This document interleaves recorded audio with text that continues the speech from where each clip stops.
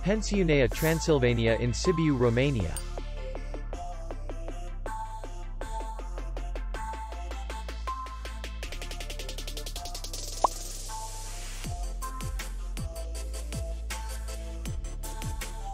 The hotel is in the city center.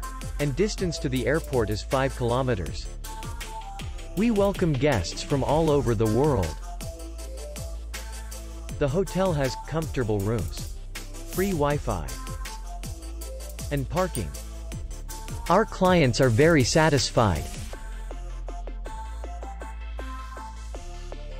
We accept payment, Visa, MasterCard, and Maestro.